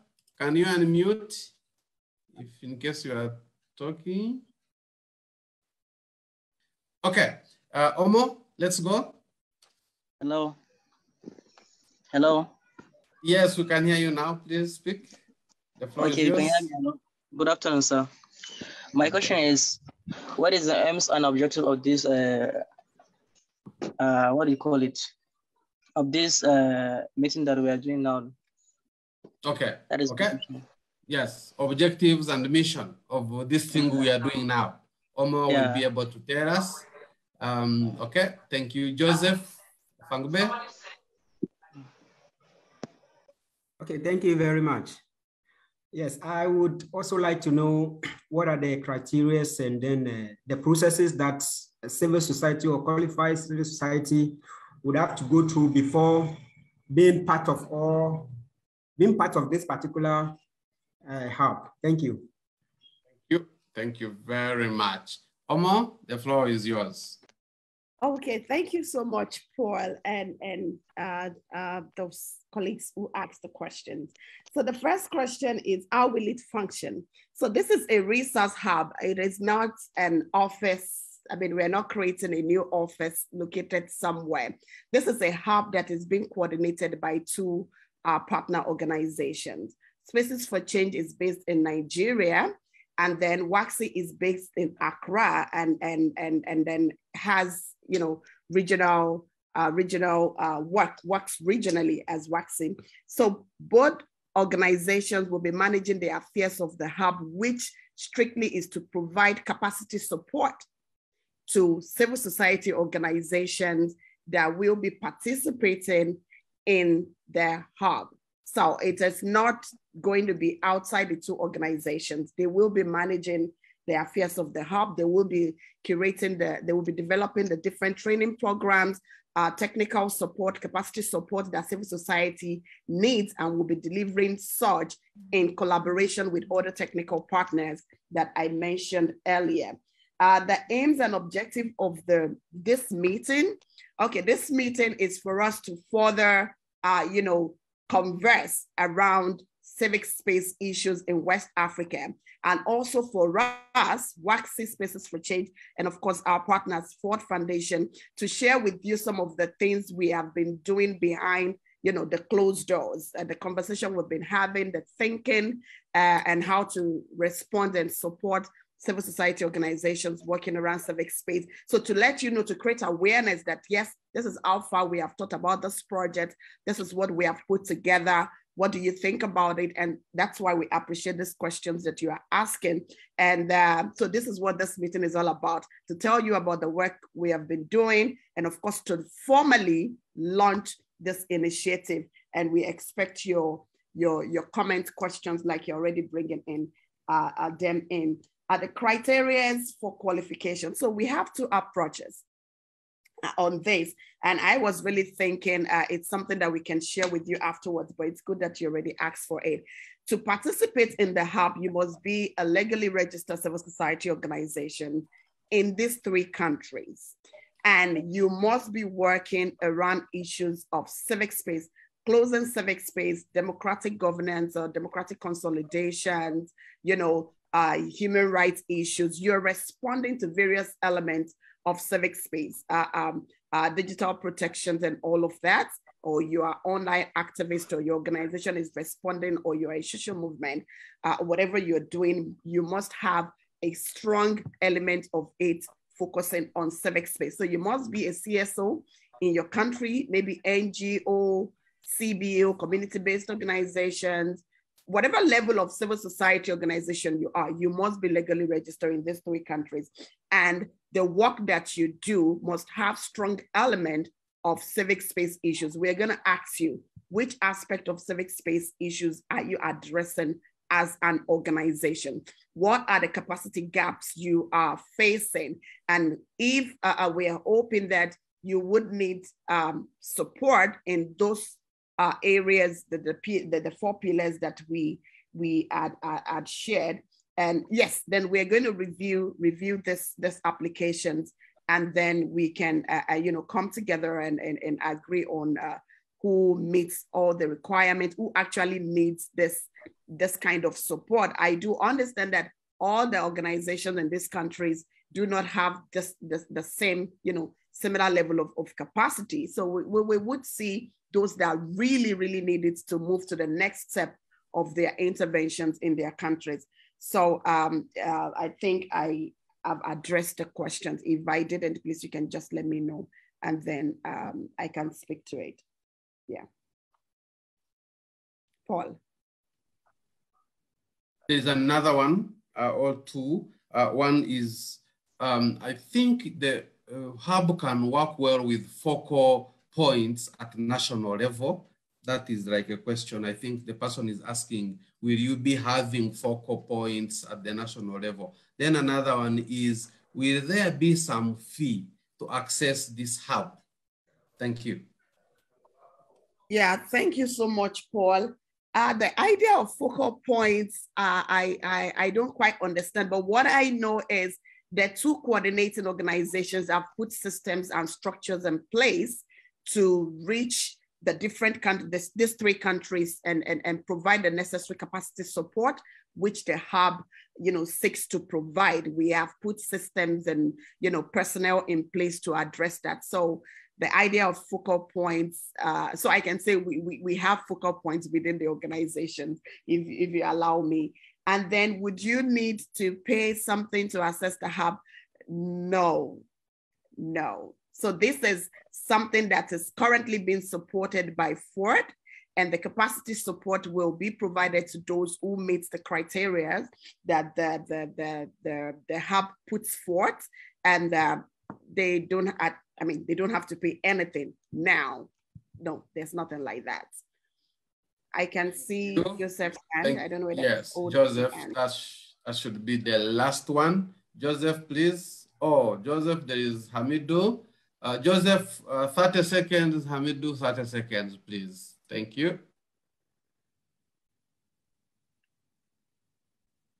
Hello, thank you. I would like to know whether uh, in in the various or respective uh, countries, the, the partner organization or the partner coordinators would do the selection of the CSOs by themselves, or is there going to be a launch of application where uh, civil society organizations or NGOs or community-based organizations would then apply uh, for this particular hub. So I just want to know the difference. Is, it, is there going to be a way that the coordinators will select uh, uh, participant or there's going to be a launch of application that various organizations will be able to register or apply for the, the opportunity. Thank you. Yes, thank you so much. Yes, we would have, um, you know, different approaches to the selections of participants. And uh, by the time we're, we're putting um, an information uh, uh, uh, documents together, which we are going to share. So there will be some organizations that would, you know, uh, we're putting a web page, sorry, together, which we're going to share with everyone on this call and those who are unable to make the call, where we would have a section where um, civil society would have to apply to participate. And of course, some uh, other organizations will be identified. I mean, because we, we, we know the work they do, and then there will be some some vetting processes to really see those who, who qualifies for that. But yes, there will be uh, applications process, and we're going to share more information around that in another couple of days via uh, a web page that we're going to we're, we're working on, and, and which will have more information on the on the the application processes and participation generally. So we're going to have, uh, you know, uh, different approaches to selections of, of uh, participants. Okay, um, Hamidu, I see there is another question uh, which uh, I will give to you, uh, Omar, at the end, if Hamidu can give us. In 30 seconds, please, Hamidu, be brief and succinct. Merci, merci Paul. Merci, Paul. Merci. Euh, ma question, c'est de savoir euh, qu'en est-il pour euh, les organisations de la société civile ouest-africaine qui ne font pas partir de ces trois pays? Par exemple, nous, chez nous, au Niger, notre organisation le ROTAP, le réseau des organisations pour la transparence et l'analyse budgétaire, travaille beaucoup sur euh, cette question de l'espace civique et de la transparence, euh, ainsi que la gouvernance. oui, mais comment nous, pouvons vraiment euh, bénéficier de ce, de ce programme? Thank you. Yes, the point uh, is taken. What are we doing for other countries? Yes, uh, thank you, Paul. I think that was one question I was waiting for. And as you were counting the 20 question, I'm like, okay, yes, that question is not coming. but eventually came. So like I said in my presentation, we have the hub has a room to address regional uh, initiatives, you know, uh, to respond to regional issues. So if your organization is not operating in any of these three countries, i.e. Ghana, Nigeria, and Senegal, you can still approach the hub with uh, um, the situation in your country or what you're working on that you think that the hub should respond you know, should assist or respond to, or that your organizations or your country should benefit from what the hub has to offer. And then we would have to have a look at that and, and, and you know, uh, uh, deliberate and see how much of a support the hub can provide in that respect. But primarily, the hub we focus its interventions in these three countries. Um, yes, for a start. So regardless yeah. of where you're located, still, you know, approach the hub. We're going to look at uh, uh, each um, um, each on a case by case, you know, basis, and then we will we'll, discuss and uh, within the management uh, uh, team and, and partner organizations to see if and how we can provide support to um, civic space issues that's happening in your country that your organization is working on. As, I mean, it's a lot easier if it has regional undertone because then we have within the hub already uh, uh, opportunity to uh, respond to regional initiatives, you know. Yes, I hope I answered Thank your question. You. Thank you. Okay. Yes, I think the question is answered. I was also waiting for that. Sorry, Paul. Um, yes, please. Sorry, one minute, and I know we have about three minutes to close the, the, the, the meeting. There's a question that says, how can the countries outside the three participating countries benefit from the critical knowledge generated from the hub? So yes, we are working on a web page where everything the hub is doing will be published and we will be sharing that we're going to be communicating with the larger civil society and uh, sector in the region on what the hub is doing, the issue the hub is responding to at national and of course at regional level. And uh, so, and we would be having like uh, the fourth pillar that talks about policy dialogues and really galvanizing conversation around uh, civic space issues. So that's going to be open to everyone for us to discuss and then, you know, uh, um, uh, contributes to regional uh, emerging issues around, around civic space, for example, this democratic retrogression and all of that. So we'll be calling on everyone from time to time, you know, to participate in the broader uh, uh conversations and, and intervention of the hub at the regional level. Thank you very much. Um, I thought you had uh, mentioned uh, something to that um, regard. So I had left that question, but thanks for nuancing it and uh, emphasizing some of the points. At this point, um, uh, friends and colleagues, allow me to invite our keynote uh, speaker, um, who is going to um, inform us broadly of what is happening around the world, what is happening in the corners of Africa, what is happening in the context of West Africa.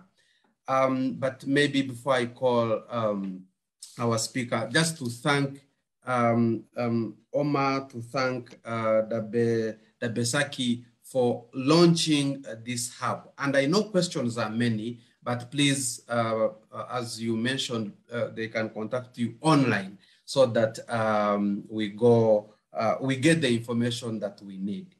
Um, to give us the key uh, uh, keynote and um, appreciate more of what we are doing around this context is Ibrahima Kane um, open, from Open Society Foundations. Ibrahima uh, is the co-chair of advocacy and engagement at the Open Society Foundations. Uh, prior to this, he was the head of African Union Advocacy Program at Open Society Foundation Regional Office um, is a lawyer qualified in both Senegal and France. And before joining Open Society Initiative for Eastern Africa in 2007, he was a senior lawyer in charge of the African program at Interrights for 10 years as founding member of RADDHO, a Senegalese human rights organization. Kane led a program focusing on public education and women's human rights for six years in five West African countries, Cape Verde, Republic of Guinea, Republic of uh, um, Guinea-Bissau, Mauritania, and Senegal. Ibrahim has also worked closely with the African Commission on Human and People's Rights, the African Commission, and the African Committee of Experts of the Rights of Welfare of the Child, the Court of Justice of the Economic Community of West African States, and the Court of Justice for the East African Community. Kane, the floor is yours to listen uh, from you.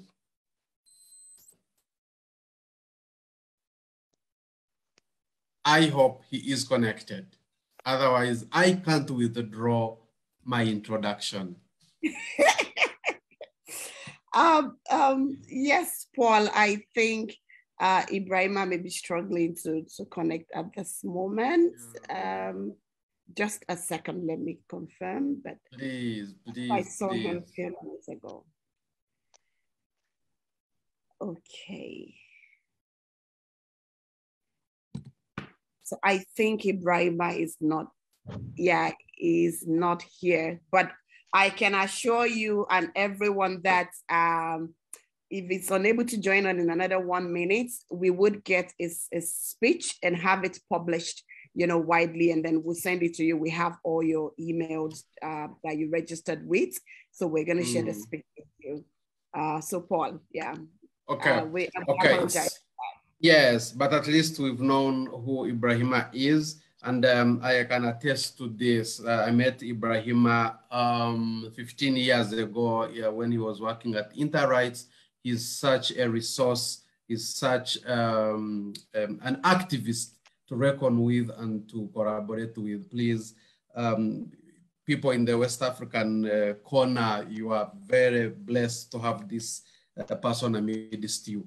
Um, that um, not happy that um, it is not uh, with us, but it has cleared some space. Then we either go back to questions with Omolara or we go now uh, a way forward as we close. Um, but if there is any lingering question, please um, push it into the chat as we look at the way forward, then we, and closing remarks, then we can see how uh, those um, questions or comments can come uh, through. Uh, works, um, Spaces for Change, and Ford Foundation, the floor is yours. Thank you very much. And really, Kojo, I agree with your comments in the in the chats that it's such a shame that Ibrahima couldn't join us. Um, he definitely wanted to be here. In fact, I, I had a conversation with him this morning. Um, he was going to have some challenges joining earlier, but he was definitely planning on joining us by now. So something must have happened um, to prevent him from doing so. And that is the reason why, knowing who he is and what he would have shared with us, I, we think it's very important um, to ensure that you get a text, even if you can't hear and see him speak um, during this time, the text at least for that. What I want to close with, um, and I can see all the questions coming, and we would have many more questions. We are launching the hub, the, the hub, and definitely it is something that we are going to continue to build on. Victoria mentioned earlier when she was talking, uh, my, my colleague from Spaces for Change, that this is not a WACSI hub or a Spaces for Change hub or a Ford Foundation hub. This is ours for all of us. Um, working and wanting to protect civic space um, in this region. So what that also means is that in developing or building the hub, we are not going to be doing it sitting in some small corner in space, thinking alone and doing it alone, but we'll be doing it with you. The hub is a resource for civil society. It's supposed to support the work that you do. And so there are different areas, different gaps, capacity gaps that you would also have to be informing us about so that we can work together with you. And many of the technical partners are going to be coming from amongst us. We are going to be working with organizations that have skills to share, um, tools to share, methodologies to share, different things to do, and we are going to be working on solidarity together. Fatumata, sorry for your for your. Uh, they, they say bless you. In our culture, they'll say more life to you. So more life to you. So um, um, really, uh, we are we we are happy um, for this opportunity for civil society. We've been talking about working in unity, not working in silos. I think this is an opportunity for us to do that. So please let's take that opportunity and work together and find the answers to the problems that we are facing in addressing the civic space issue. And many of us have answers. So let's use the, the facility of this hub to provide those answers to the problems that we are facing. And yes, we are starting in terms of focus with Nigeria, Ghana, and Senegal, but this is really an issue of a limitation of resources because you cannot have it for everybody. But as Lara has said, there are regional challenges that we would have to face regionally, and there are resources that will be shared regionally. So it's not only these countries. These countries are just starters, um, and also to help us manage the resources that we have now. So thank you for being here and joining us to. let me just add something to just last last point. Um, yeah. About some of the challenges, or there'll be opportunity. Um, in addition to everything that you said, there will be opportunity for civil society to um, benefit from tailored trainings that address their own unique organizational challenges.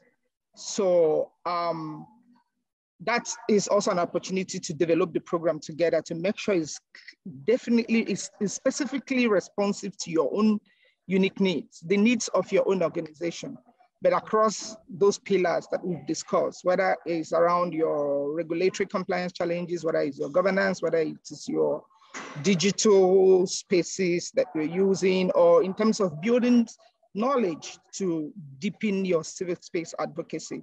So it is a journey that is just started today that all of us are going to go through together. Um, a lot of the things are not like clearly defined now because we are going to do it together with you in terms of the methodologies, in terms of the strategies, in terms of the locations, in terms of the outcomes that you want to achieve. So it's going to be a, we're going to work hand in hand, you know, during this process and ensure that um, together that we really win in uh, the advocacy to preserve our civic space from further restrictions from our various governments. So back to you, man. Thank you, Victoria. On point. Nothing more to add. Thank you, Paul. Thank you. Um, a word from Ford Foundation.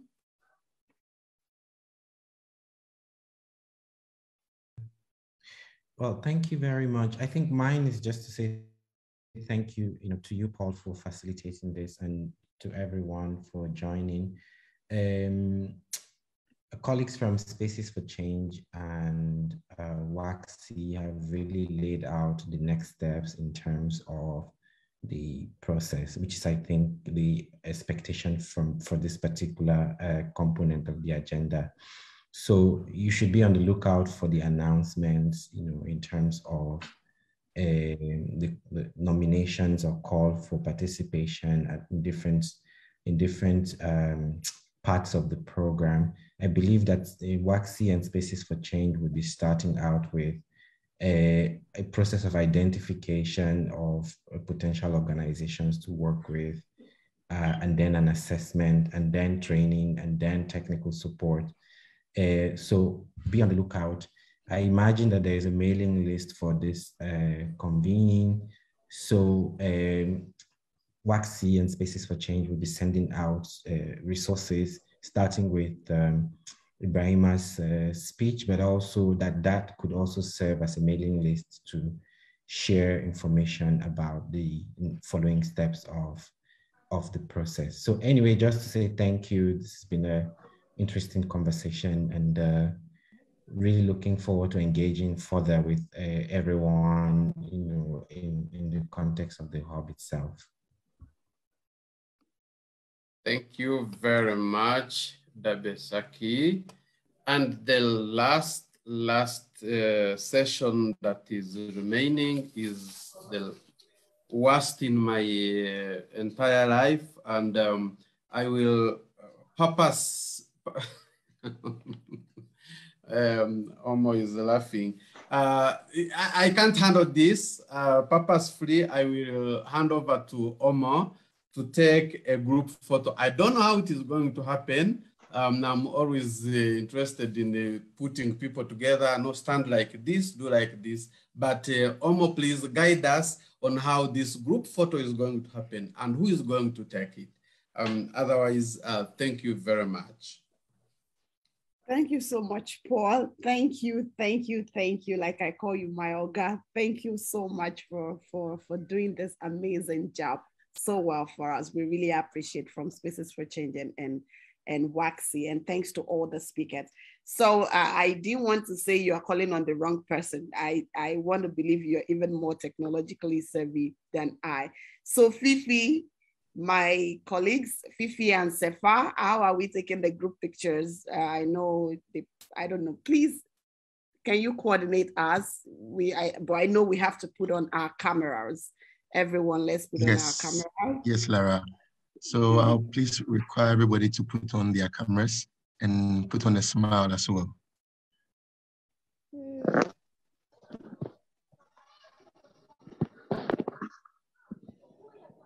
So we'll do this on a count of three.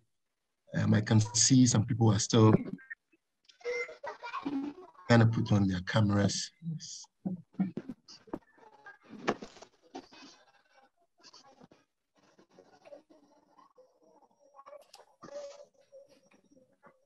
All right, so on the count of three, we're going to take three shots. So I'll,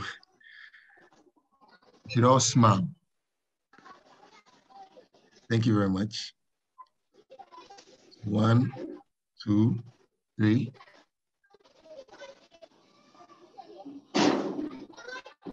One, two, three. And the last shot, one, two, three. Thank you all for participation. Thank you. My smile was fading away. thank you. Thank you very much, thank everyone. Thank you, everyone. Thank you. And, um, thank, you. thank you. Thank you. Thank you very much. Thank, thank you very much. everyone. Thank you. Bye. Thank you. Thank you. Thank, thank you, Thank you. Thank you, Abiodun and Aisha. Aisha, thank you so much. Dr. Kojo, thank you so much Bye. for speaking Bye. Thank you, everyone. Thank Bye you. and congratulations. Thank Bye. you. Thank you. Merci à vous tous. Merci, merci. Thank you, everyone. We hope merci to hear from you soon. Merci. Au revoir. Merci. Merci beaucoup. Au revoir. Au revoir.